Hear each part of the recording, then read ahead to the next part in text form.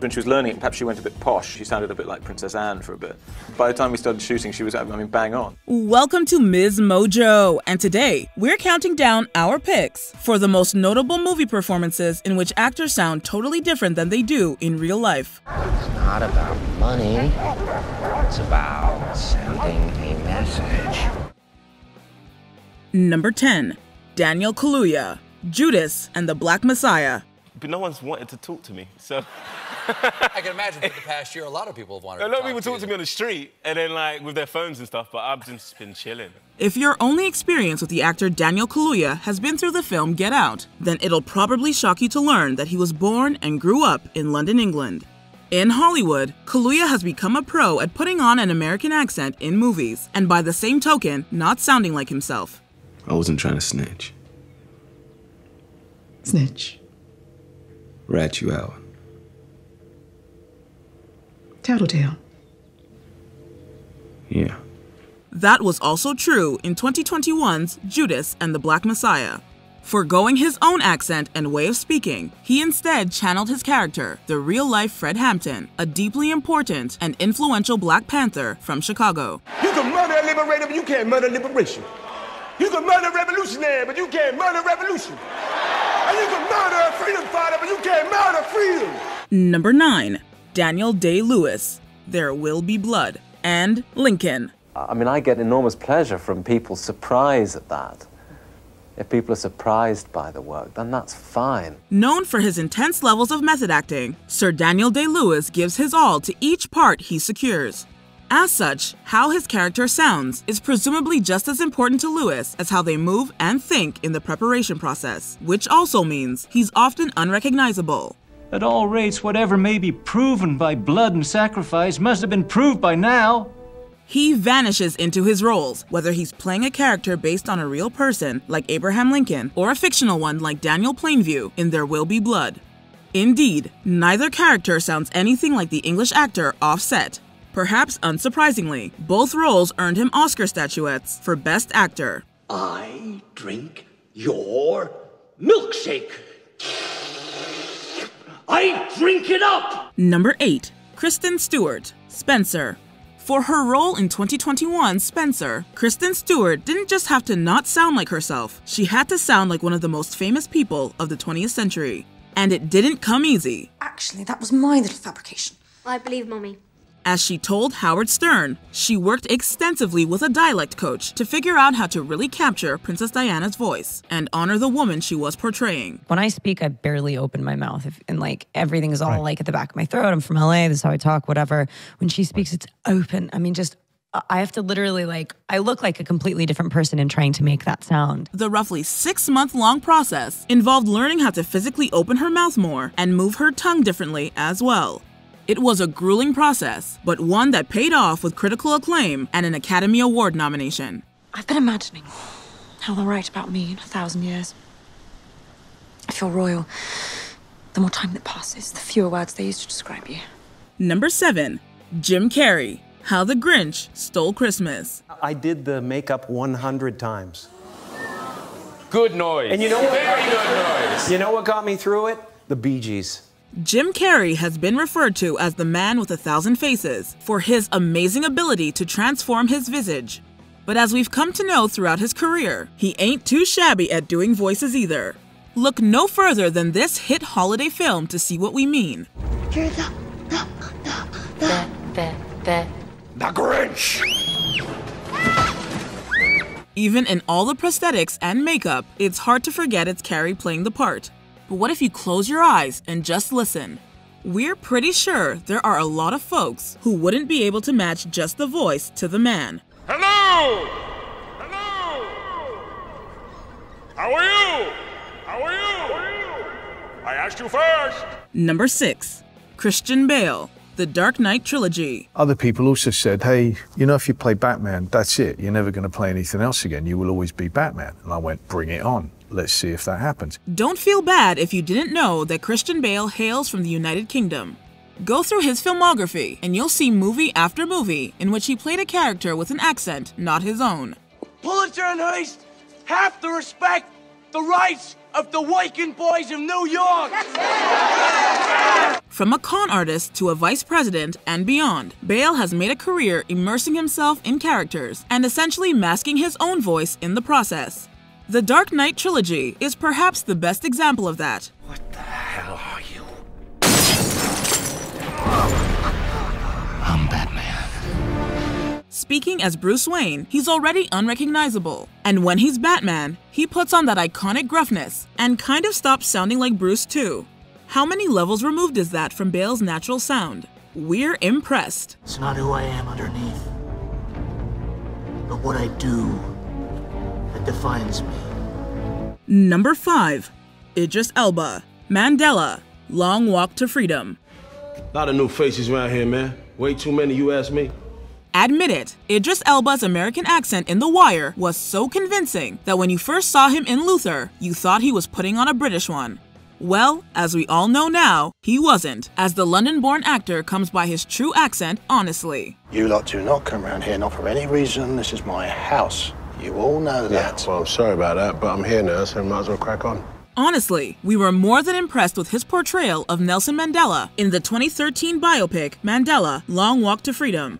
Not only did he sound South African, but he sounded almost exactly like one of the greatest and most important South African men to ever walk this earth. Stay home. Be peaceful. And when election day comes, vote. Number 4. Renee Zellweger, Bridget Jones's Diary. Okay, circulate oozing intelligence. Ignore Daniel and be fabulous with everyone else. Nope, Renee Zellweger isn't English, despite what you heard in Bridget Jones's Diary. In fact, the Texas born Zellweger being picked to portray Bridget was heavily debated and scrutinized at the time, given the extreme Britishness of the character and the story. Of course, these days, it's hard to imagine anyone else in the role. I like you. Very much. Uh, apart from the smoking and the drinking and the vulgar mother and the verbal diarrhea. No, diarrhea. I like you very much. Just as you are. Indeed, for the most part, any angry voices were quickly silenced when the film was released, and Zellweger's much practiced London accent was put on display. She was praised by critics and moviegoers alike, and it's all the more amazing when you compare it to how Zellweger sounds in real life. I think probably the most pressure probably came from myself, you know, because I just didn't want to uh, blasphemize the language for so many reasons, or the book, because I loved it so much. Number 3. Meryl Streep, Sophie's Choice. You will move mountains. Right now, I can't even move my tongue. Maybe you moved it too much. Why aren't all the women in the world like you? You better thank God they're not.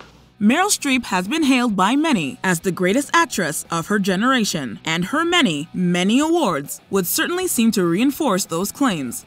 Along with her acting talents, Streep is also synonymous with her ability to change her voice and adopt a whole variety of accents for various roles. That includes the part of the titular Polish immigrant at the center of Sophie's Choice. How many languages do you know? Well, my father was linguist, so I mean, I he teach me German, French, Russian, Hungarian, the Slavic languages. So, what language I am butchering now? English. Of course, Streep makes it look easy, but make no mistake, she had to work to get the sound right. She actually went so far as to learn both Polish and German in preparation for the role. I didn't really think about getting an accent, but I really wanted to speak Polish. And I thought if I learned to speak Polish, then the diphthong- diphthongs and the sounds of that language would be in my mouth, sort of. Number 2. Johnny Depp, Charlie and the Chocolate Factory. Because I don't see you playing normal people often. I've been accused of weird, yeah. I've yeah. been accused. But you like being a bit weird, don't you? Well, I mean, I just like to sort of, you know, I prefer to go down the, the road that I that I prefer. Born in Kentucky, Johnny Depp has a rather deep and brooding voice, which is not in any way how one would describe Willy Wonka's sound in 2005's Charlie and the Chocolate Factory. Depp also barely looks like himself in the film, especially with that intense hair. That's beside the point, but it speaks to the level of transformation that occurred. Back to the voice though. Good morning, Starshine. The Earth says hello. There's no denying it really has a distinct, unusual identity that's separate from Depp's usual tone, like nothing you can really pin your finger on. Still, somehow, it also feels like exactly how this character should come across when he speaks. It's in the fridge, Daddy-O. Are you hep to the jive? Can you dig what I'm laying down? I knew that you could. Slide me some skin. So, brother? Before we unveil our top pick, here are a few honorable mentions. Joaquin Phoenix, Walk the Line. It's safe to say, Phoenix doesn't sound like Johnny Cash in real life. Folks, what do you say? You want to hear uh, Jackson?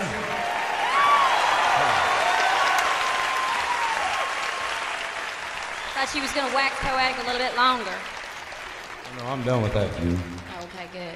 Michelle Williams, My Week with Marilyn. Watching Williams here is like spending 99 minutes with Marilyn Monroe. I want to be the best actress I can be. There's a rumour you're going to be in the Brothers Karamazov on Broadway. I'm considering it. Which of them will you be playing? I'll be playing Grushenka. Can you spell that?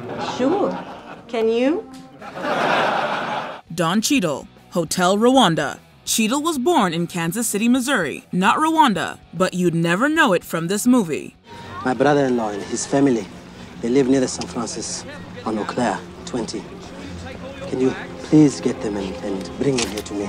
Robert Pattinson, Good Time. London born Pattinson shed his British accent for a Queens one. You're incredible. Do you understand? Yeah. I'm serious. You could, you guys could have done that without you standing next to me, being strong. No. You feeling this? You feeling the as I'm feeling right now? Yeah, I'm cold. Andrew Garfield, The Social Network. Unlike his character, Garfield has an English accent. And I'll bet what you hated the most is that they identified me as a co-founder of Facebook, which I am. You better lawyer up, because I'm not coming back for 30%. I'm coming back for everything.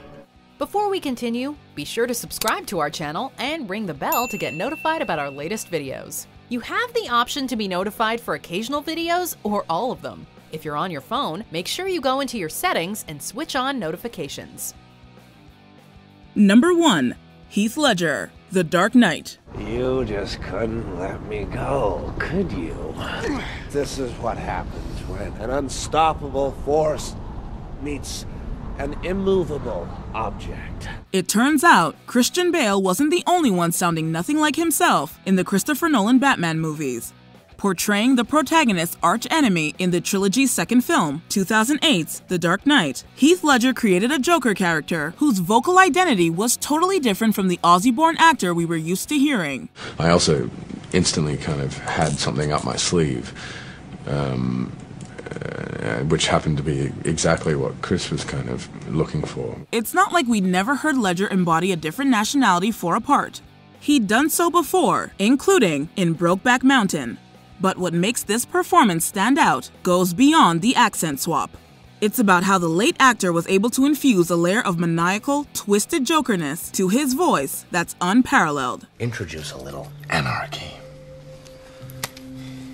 Upset the established order, and everything becomes chaos.